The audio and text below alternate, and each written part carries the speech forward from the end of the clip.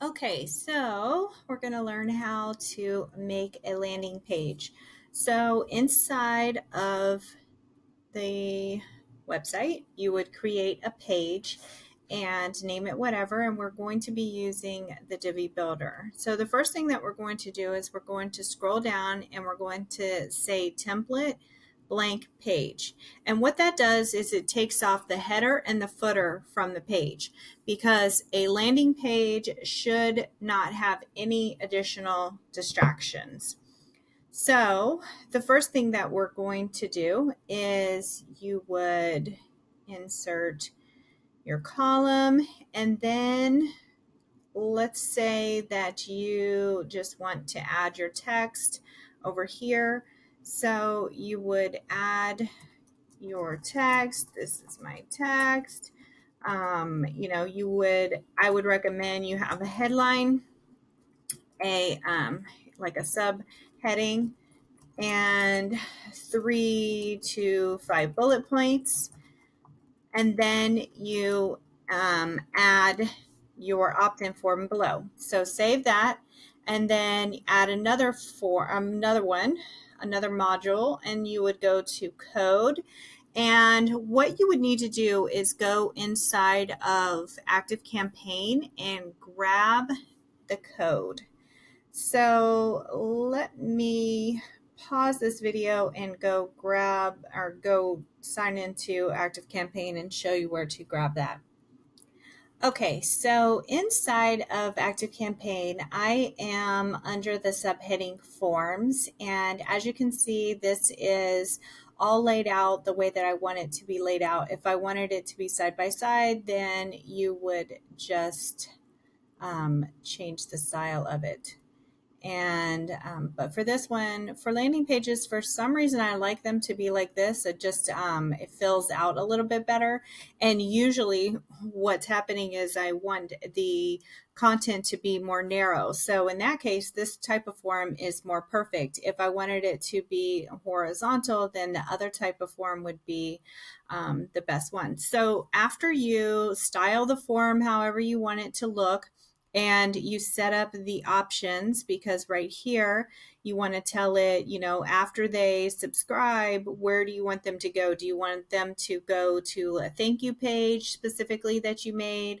Or like in this case i had everybody going to my facebook group so i really need to get in here and update all of my stuff um, in active campaign because it is so out of date. Anyways you would update that and you tell it what list you want it to go to. And then you would click integrate.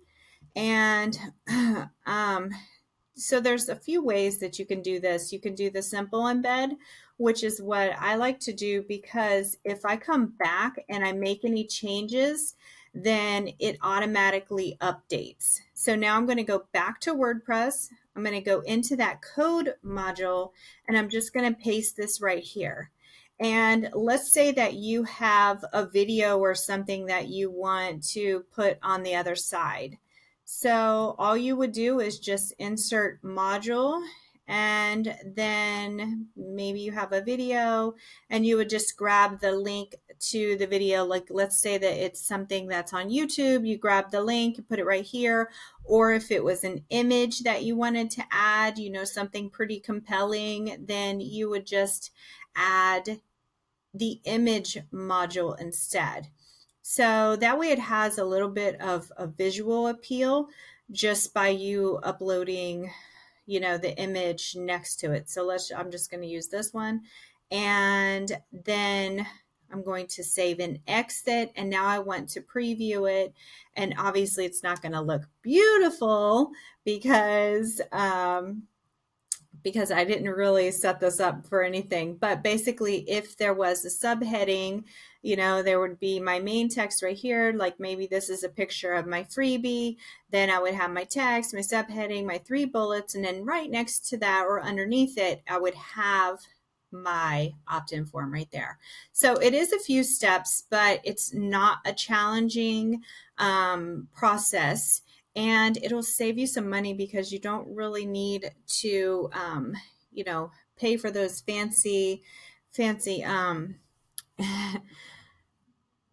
I don't know what to call them, emails, you know, form generators when you can, especially with Divi, you can just add a form very easily. Now you would need to go back in here and add a footer in here. So you would, you could do any, either one. So you could just set up a footer because you need to have your privacy policy visible. So we just create a mock footer by adding text and then you would add your you know your information right here at the footer like 2017 the name of your website privacy and a link to the privacy policy and then what i like to do is save it and add it to the library and when you do this, you want to make it a global item. So you could say landing page footer, make it a global item. And then when you create future landing pages, you can reuse this um, this landing page footer over and over. And if you, but you do have to remember that if you make a change to one of these global items, it changes on all of the pages. So that's actually a plus, but it can also be um, a negative if you only want it to be applicable for one page. So just keep that in mind when it comes to making changes.